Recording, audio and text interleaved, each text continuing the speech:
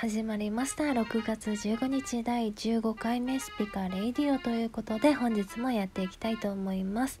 6月になりましたが皆さんはいかがお過ごしでしょうか？2021年も半分になりましたね。時が流れるのが早いです。なのでね私は一日一日を大切にして今まで以上に濃い人生にしていきたいと思います。それでは本日の曲に参りましょう。スピカオリジナル曲で Dream for You です。どうぞ。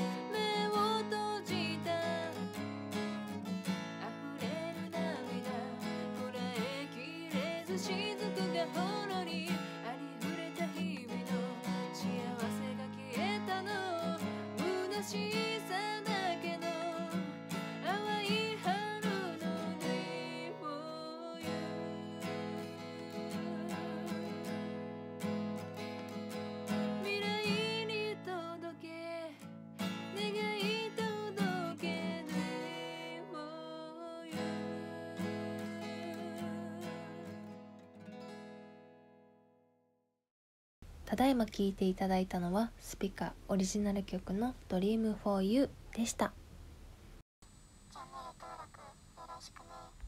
スピカレイディオのコーナーあなたのエピソード。このコーナーはお題に沿った皆さんからのエピソードをツイッターで募集しそのエピソードをご紹介するというコーナーです。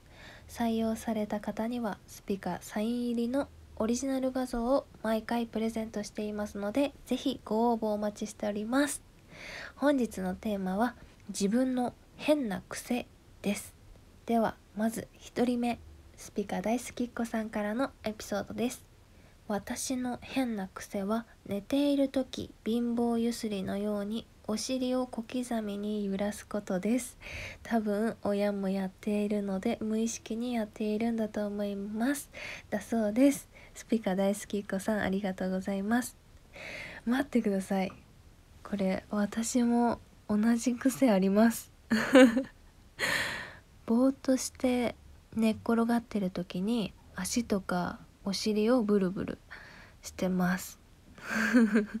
高校の時に修学旅行で変だよって友達に教えてもらったのを思い出しました。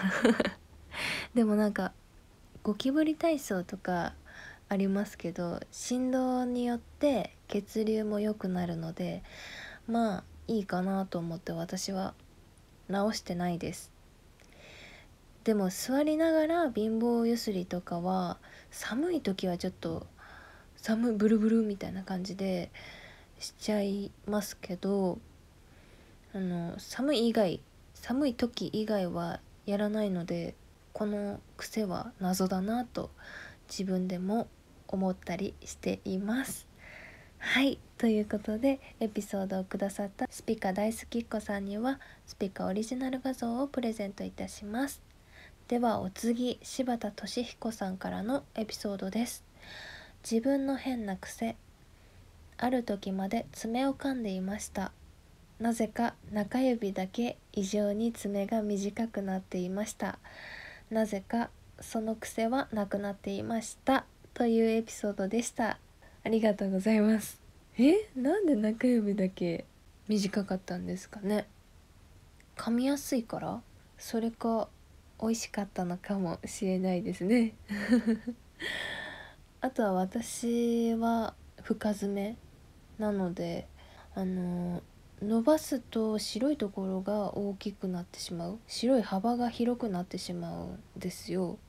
なので爪を噛んだり切ったりすると結局指より短くなってしまうみたいなちょっとあんまりうまく説明できなくて申し訳ないんですけれども。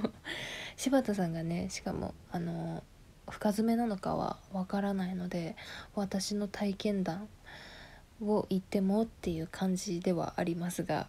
はい。でもその癖がなくなっていたということなので未解決事件ではありますが、はい、エピソードをくださった柴田さんにはスピカオリジナル画像をプレゼントいたします。柴田さんいつもありがとうございます。はい。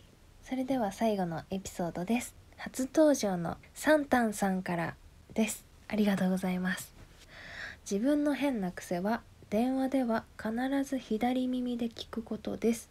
シンプルに聴力だけで考えれば左耳の方が悪いのでやっていることは矛盾していますが電話の時だけは左で聞かないと内容が頭に入ってこない感覚に陥るため必ず左耳で電話を取るようにしています。というエピソードでした。ありがとうございます。私全然気にしてなかったです。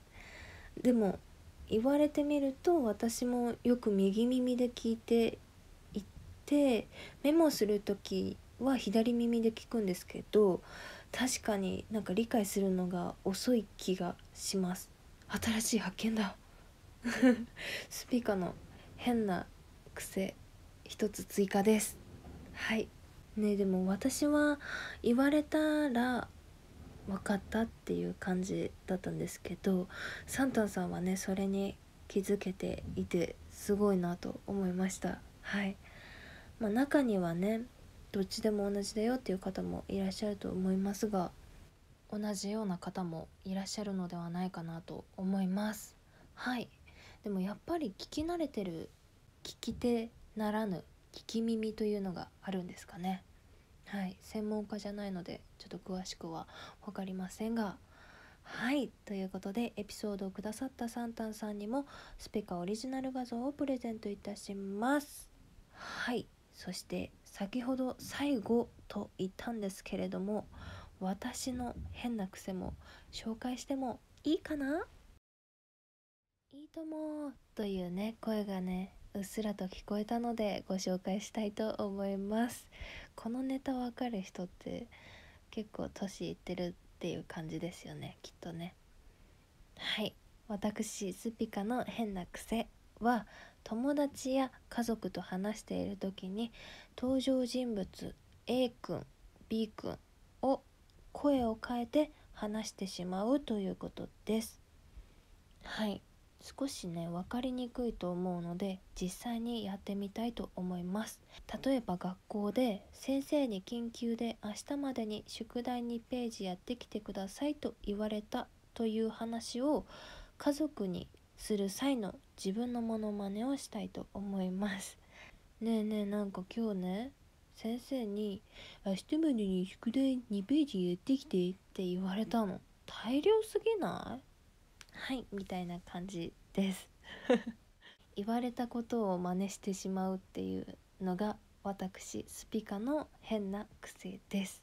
実際モノマネしてるつもりはないので声は毎回一緒なんですよね。でも友達に「そんな風に言ってなかったよ」って言われてようやくこの癖に気づきました。今も出てましたよねきっとね。ぜひ聞き返してください。はいというエピソードでした。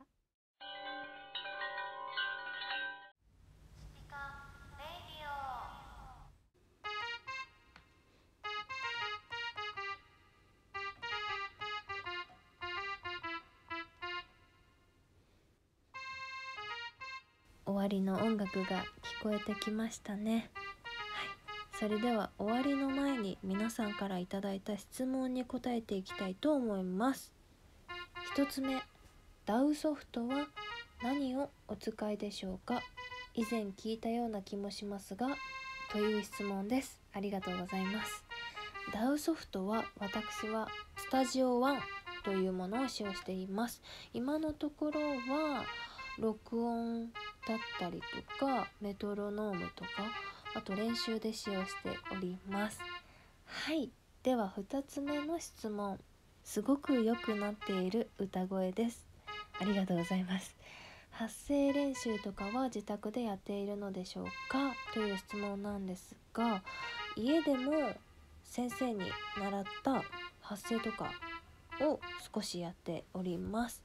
でもボイトレ自体が週1くらいなのでそのおかげかなとは思います。はい。自分ではかなりね歌える幅が広がっているなと思うのですがあまり直接言っていただく機会とかはないので今回すごいこういう質問が来て嬉しかったです。はい。ありがとうございます。でもまだまだね自分的には良くしていきたいなと思っているので頑張りたいと思います。是非応援よろしくお願いいたします。はいということでお時間も迫ってまいりましたのでここら辺で終了したいと思います。改めていつもエピソードや質問をくださる方々聞いてくださっているリスナーの方々ありがとうございます、えー私スピカはあと4日で YouTube に投稿して3年が経ちますがこれからも成長いや急成長できるよう頑張っていきますのでよろしくお願いいたします。はいそれでは少しでもいいと思っていただけたらチャンネル登録とグッドボタンよろしくお願いいたします。スピカは YouTube の他に Twitter、インスタ、TikTok などもやっておりますので概要欄からご覧ください。YouTube の食べ物みというアカウントでゲーム配信もしておりますのでよかったらそちらもチェックしてみてください。スピカへのリクエスト曲などございましたら YouTube のコメントや Twitter にいただければもしかしたら演奏するかもしれませんので是非お待ちしております。それではまた来月のスピカレイディオでお会いしましょう。またね。